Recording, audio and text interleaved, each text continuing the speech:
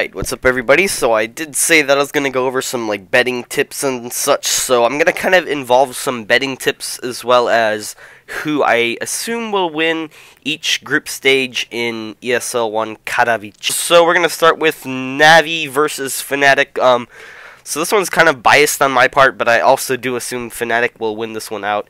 Um, so we're going to go over some fine details here. So we're going to go over on HLTV and Goshu Gosu Gamers. Um, I do prefer Gosu Gamers, Goshu, Gosu. Um, there's many more websites you can use, but I prefer these two in particular. Um, so as you can see, if you look over February, um, which was just like one or two days ago, uh, depends on when you watch this. Um, Fnatic is on quite a good spree. 25 wins, 1 tie, and 6 losses. Um, most of these games were best of 3s.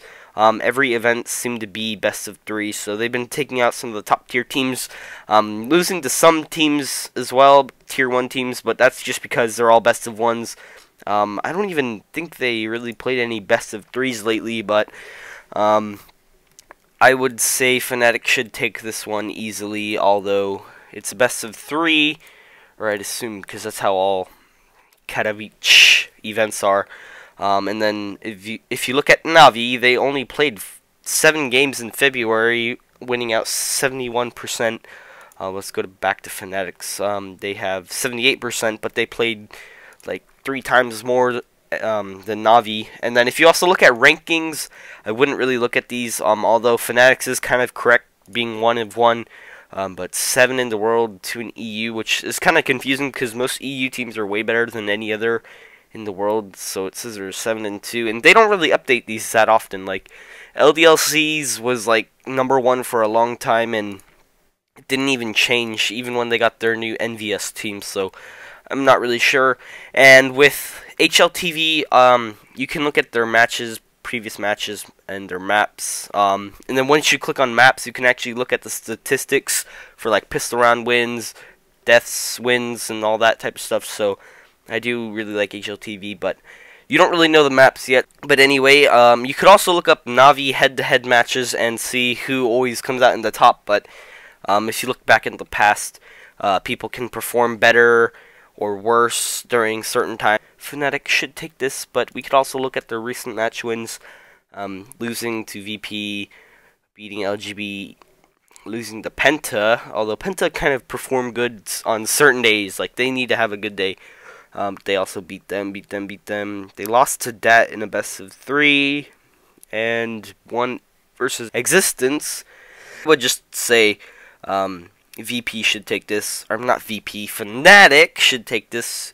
Um, looking at their recent match wins and such, um, they are winning most of their best of ones, although I wouldn't be surprised if they lost some if they were best of ones, just because it's best of ones. Some teams can perform better on certain maps, and some teams can underperform on certain maps as well. And one other thing you have to consider is is this team good at LAN? Because LAN and online's a completely different thing. Because, um, like, in online, you have to consider DDoS and, like, kind of a delay. So, this is going to be a fairly close game.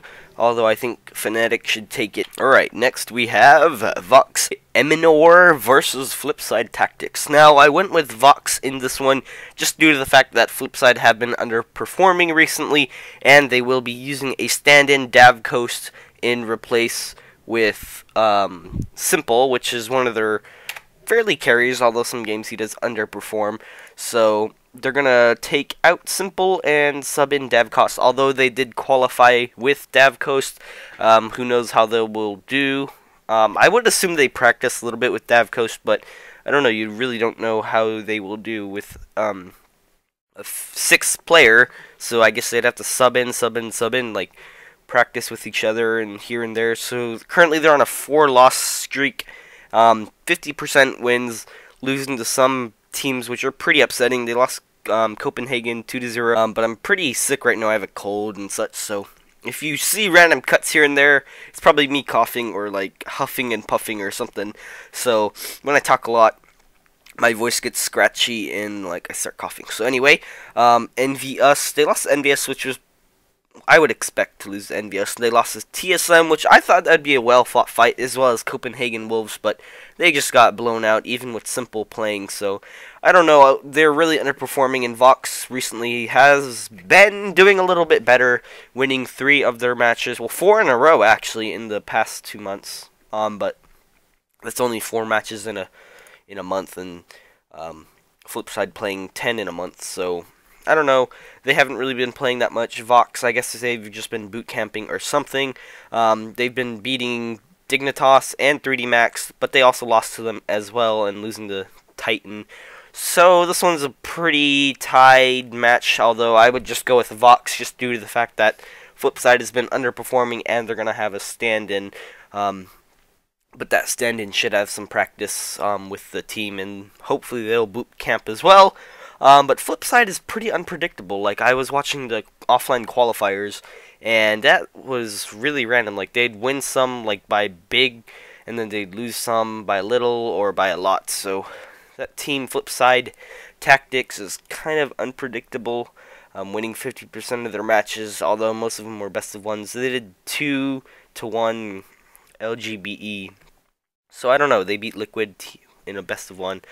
Um, so this one's a pretty 50-50. I would just flip a coin or just go with my assumption. Alright, next we have... I'm going to skip to Group C just because, I don't know, I feel feel like it should go this way and then this way, but uh, they kind of did it sideways. So I'm just going to go with Group C. Next we have Hellraisers versus Ninja in Pajamas. Um, I feel like this one is as well as a 50-50 because Nip is trying out allu, although he's been into the team for a little bit, and they'll have a little bit more time to boot camp, which for sure they are going to boot camp. And Hellraisers is known to be the upsetter. Um, they can pull off some wins even on like 80 to 20 odds or less. Um, so Nip having their full lineup with allu now, which he's been performing fairly well. Um, underperforming on certain maps where he can't really op, but he can also use rifles, which most of the other operas aren't really too good at doing. So I feel like Nip could take this one, although so far they haven't been doing too good. Um, 5 to 1 to 10. Um, 31% wins. Um, that's just due to the fact that they've been trying out people. So we'll see how they do. This is the first match that they will be performing in for groups. So we'll see if they can do pretty good. And if you look at their stats here, um, although these are pretty, pretty random stats because they've been trying out a lot of new people. Uh, I'm trying to like force myself to talk, and as you can see, my voice is kind of like changing tones while I'm talking. Like you can kind of hear me like suffering. Um, but anyway, um, Hellraisers being 10 in the world, 3 in the EU West. Huh. I feel like that's kind of odd. Um, but they've been performing fairly well. They've been doing some upsets. Um, they got owed and 2 by Nip, so they did lose pretty badly there. They 2 0 Nip. They lost to Envy. They beat, or no, they didn't beat. They lost to LGB.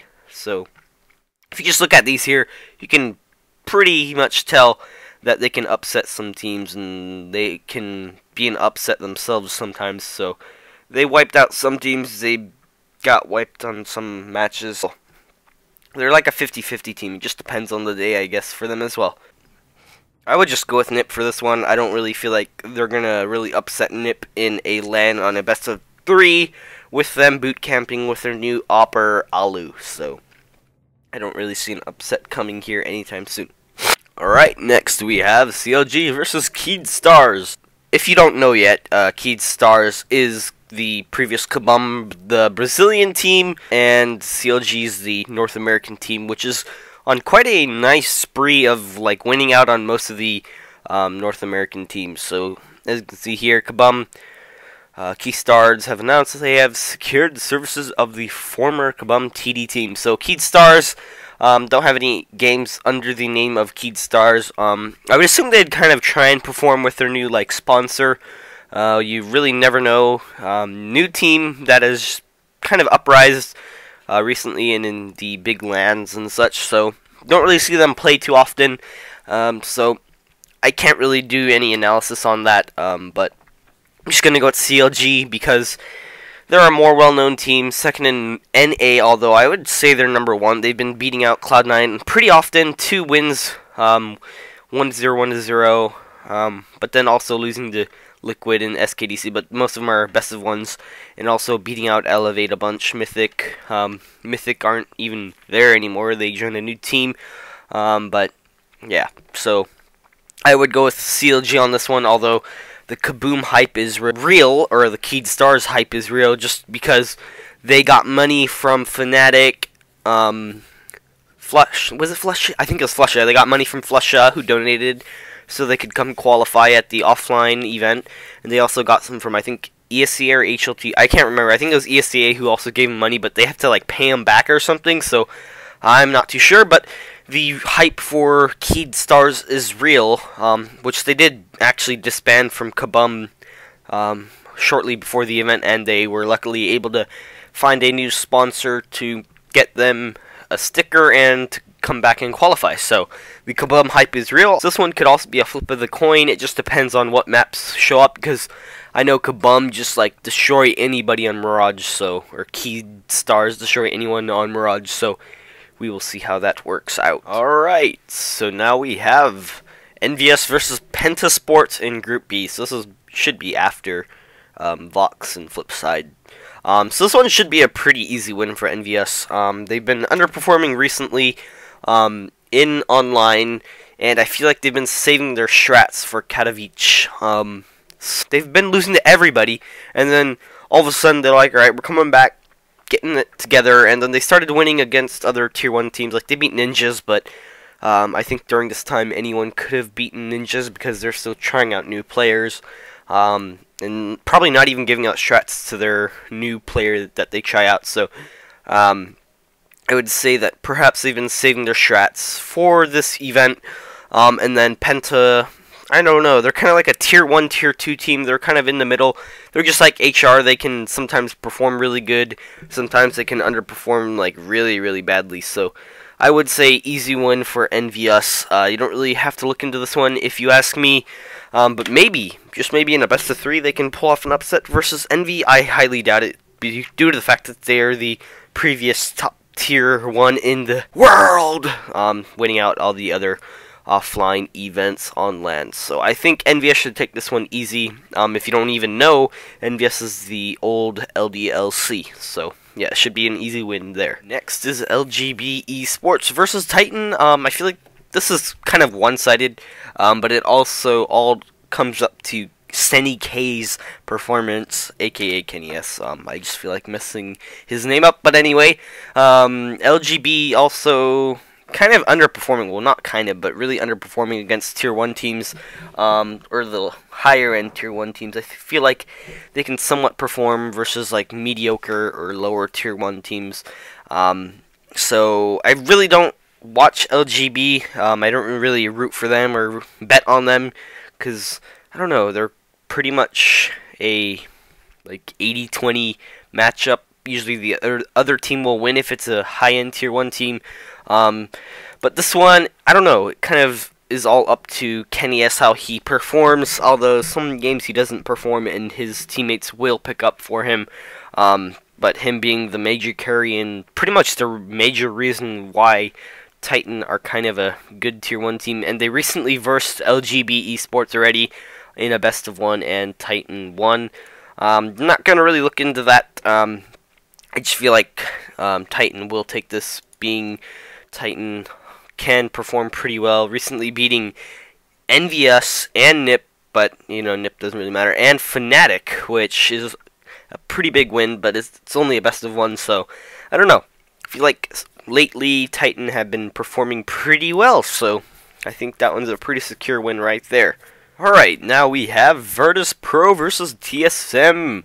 Um, I don't know, this one's kind of 50-50 performance, although I just believe Virtus will take it out from TSM, um, from seeing TSM's recent performances, kind of like underperforming, and then Virtus Pro performing pretty well lately, um, with Pasha and Taz, or Snax, carrying pretty well.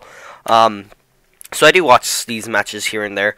Um, I don't really watch it because most of the matches occur when I'm in school or dead asleep. So, as you can see, this is why I don't go with the rankings on GoSu Gamers. Because look, world two in the world, But I mean, number one in EU, how can two teams be number one at the same time? I don't know. Um, but if you look at their recent performances, they beat Navi. They lost to Gamers2. I'm not really sure why. They beat Fnatic. It's best of one. Copenhagen. They already beat TSM in a best of three. Although TSM won one, so it's all up to the map pool. Um, what maps get vetoed and what maps get picked. So it's all up to that, I would say.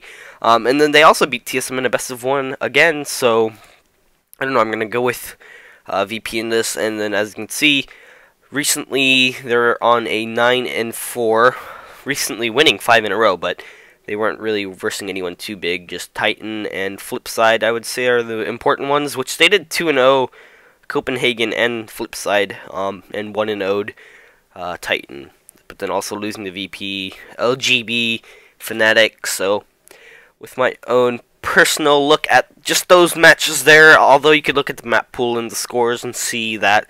Um, but just with that there, I would just root for VP and assume they would win. So, Group D, VP. That, that kind of rhymed. Ha. Last but not least, we have Cloud9 G2A versus 3D Max. Now, I'm kind of a Cloud9 fanboy, although not as much as before. I used to love Hiko, and then I I liked ShahZaM um, as he was coming up, I used to follow him, watch him on Twitch and all that. And then he joined Cloud9 as Hiko left. So I'm like, oh god, I like, I love Hiko and I like ShahZaM. So I'm like, uh, I'll just have him as my second favorite team. So um, Cloud9 versus 3D Max. This one's kind of biased on my part. I like Cloud9. And then don't really know much about 3D Max. But if you just simply look at the stats, um, it's basically a 50-50 match. Um, didn't really bother looking into um, any matchups between them because I'm pretty sure 3D Max is really hasn't really been playing that much. Only six matches in February, um, but they're on a two win winning spree in a best of ones. So I don't know. And if you look at Cloud9's stats, they've been um, having DDoS problems, so they've been having stand-ins um, and actually pulling together some wins during this process. So I don't really know. This one's actually a flip of the coin as well um, as long as well as some of the other matchups. Um, so I don't really know about this match, but I would just go 50-50, flip a coin, or just go with the one you like or know more of. Um, I would just go with Cloud9, just due to the fact that I'm a fanboy, and they've had a lot more matchups recently, playing more, practicing more, and they're also going to be boot camping, so um, this one's up to you, I would say. Alright, so that's it for my predictions on the ESL 1 Katowice 2015 group stages. I'm no professional better, nor am I really good, and I'm pretty biased when it comes down to my picks, but these are my assumptions and picks, so hopefully you follow them, or comment below if you have something you want to say, or you have actual statistics or something on who should actually win. I, I could possibly change my bets when it comes down to that, so thank you guys for watching, and have a good day, night, or wherever you are, what time.